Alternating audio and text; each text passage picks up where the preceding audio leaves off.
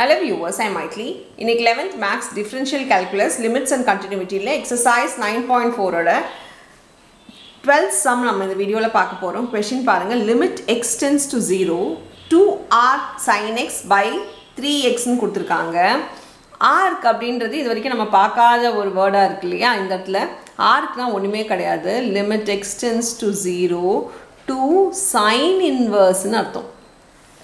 ஆர்க்னா என்ன அர்த்தம்னா sine inverse by three x இங்கே டூ பை த்ரீன்றது ஒரு கான்ஸ்டன்ட் டேர்ம் அதை நம்ம வெளியே எடுத்துடலாம்.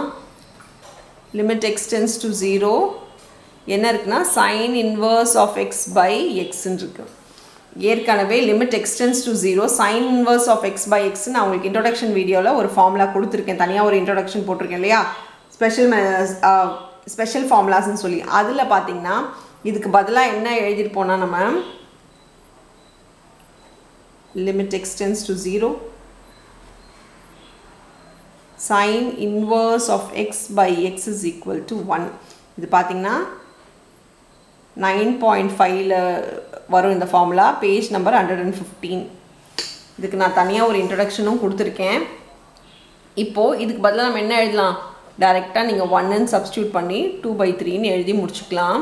அவ்வளோதான் இந்த சம் தேங்க்யூ